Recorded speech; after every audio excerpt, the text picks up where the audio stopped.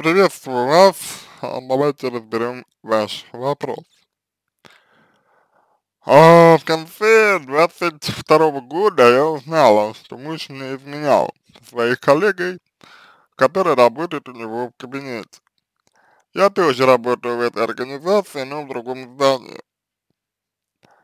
Ну что же, измена это травма психологическая, и, безусловно, вам нужно ее прожить.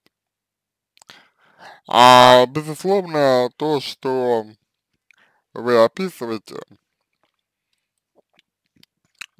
ну, я имею в виду вот то, что вы то, что вы поговорили, да, вот то, что вы обсудили э, с мужем эту ситуацию, это, конечно, хорошо, вот. Но, читая ваш текст, у меня возникло сомнение в том, насколько серьезно, а, насколько искренне вы на самом деле решили, ам, значит, а, отношения сохранить, и ради чего вы, вы отношения решили сохранить. А лично мне кажется, что вы решили сохранить отношения только по- потому, что э, это тот мужчина, которого вы ждали, и э, ради того, что вы все еще ему важны, вот.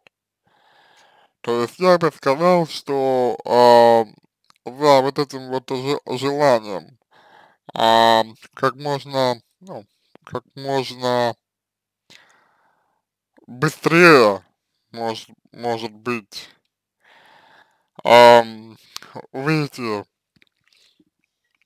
из конфликта. Вот за этим желанием, как можно быстрее решить этот конфликт, например. А, я бы сказал, что за этим, за этим желанием а, как бы может скрываться э, неискренность с ним, вот, в смысле с э, супругом, неискренность с э, супругом, вот, и при этом, и при этом, а, может быть и так, что вы сами как бы с собой из-за этого ам, тоже не совсем искренне, вот. Не искренне в выражениях, в проявлениях а, своих чувств, своей боли и так далее. А я бы сказал, что э, ненависть к ам, этой женщине, да, она нормальна.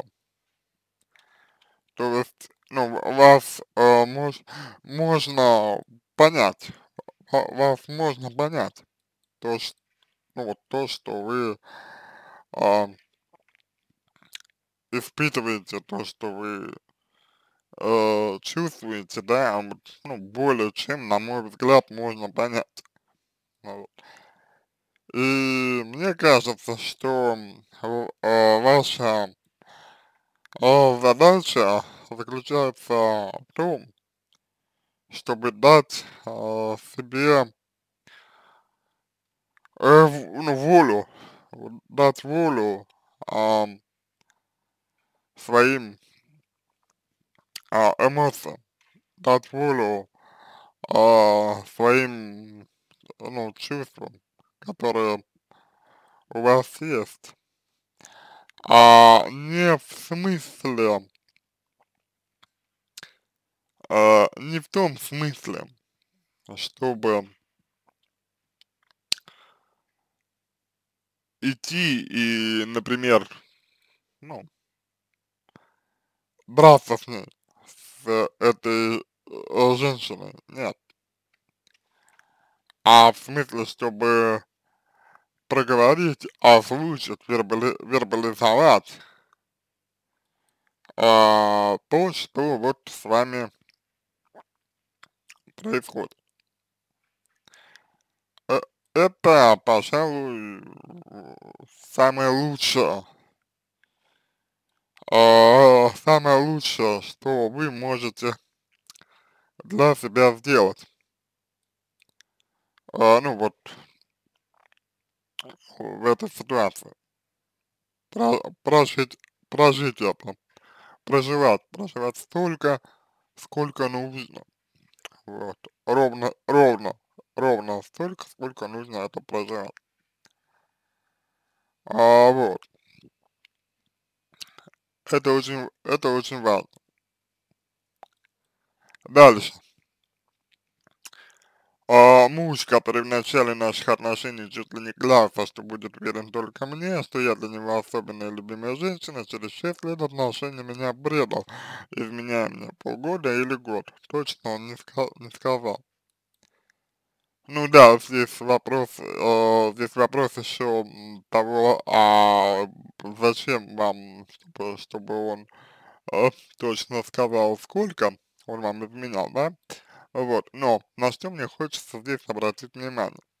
Мне здесь хочется об обратить внимание на, на то, а, а, как вы выстраиваете, отно, ну, выстраиваете отношения а, с, ну, с мужем своим. А, вот, то есть, что я имею в виду? что вам человек, вам человек, да, вам человек, а почему-то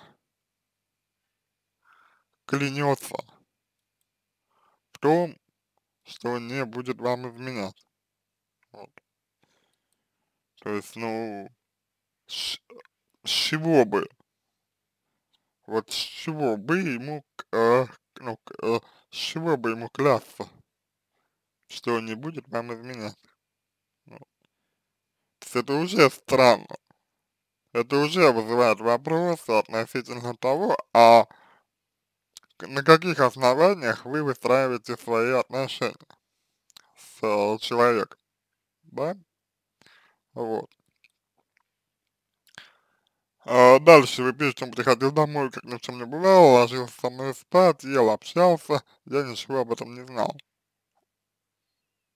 А, ну, тут история а, про а, какую, ну, про обиду за обман. И связано это с тем, что ваш муж формирует почему-то вашу собственную реальность, ва вашу жизнь, а не вы. Я верила, что он, что он, что он верен своим принципам, а оказалось, что он предатель. Ну, я бы сказал, что здесь история про то, что вы зависите от этих принципов. Вот что вы зависимы от этих принципов и, а, его. Но, а, то есть вот в этом как бы, как бы основная суть, что вы зависите от принципов человека. Почему-то. Вот как-то так получается, да, что вы полагаетесь на это. Вот. Опираетесь на супруга в этом смысле. А, больно, что для меня ценности семьи э, превыше всего. Я ждала своего мужчину, за которого выйду замуж, ему, ему буду доверять, а получилось, что он меня раста, растоптал. Ну, а, здесь у вас травма, и здесь у вас, а, очевидно, идет а, столкновение с переоценкой ценностей. А вот что сейчас вы видите, что семейные ценности, к которым вы стремились, да, они несколько чреваты вот такой историей. Чреваты некоторой негибкостью, уязвимостью и ригидностью.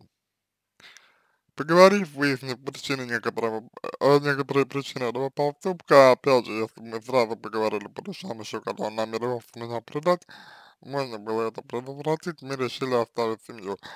Я думаю, что а, вот то, что то, что вы называете это предательством, интересно. То есть это как будто бы обесценивание вас. вот стоит подумать, как человек, э, один человек может обесценить другого. Не потому ли, что другой человек всю свою сущность сводит к чему-то одному. Вот. А, и это влияет на его поведение, в том числе полуро полуролевое поведение, что приводит к определенным проблемам. Он вроде рассказ, я, я хочу верить, что я по-прежнему важна, я поняла свои минусы, но как справиться с чувством подавления, которое поселилось в душе, как не поддаваться мыслям, что он сделает это снова. А, учиться жить своей жизнью и не сводить все к, сем э, к, к семье в данном случае. А вот.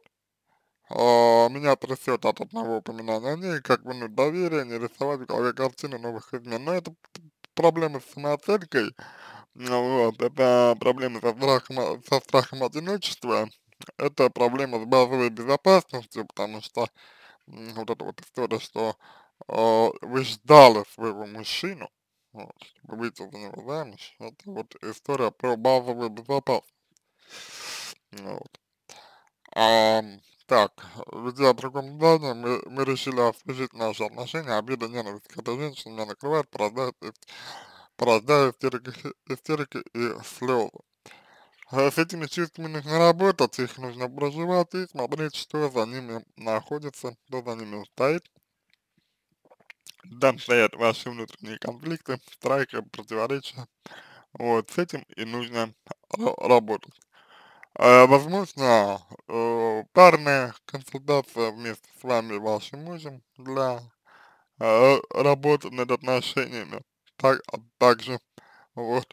Ну и мне хочется отметить, что есть ощущение, что вы ведете себя своим мужем, со своим мужем, по крайней мере, вы ведете себя, ну я бы сказал, как родитель. Вот. Ну, исходя из того, что вы привержены семейных ценностей, то, скорее всего, вы ведете себя как родитель. А муж, соответственно, превращается здесь в ребенка. Вот. На этом все. Буду благодарен за обратную связь по моему ответу. Это позволит вам начать работу над собой. Я желаю вам всего самого доброго и удачи.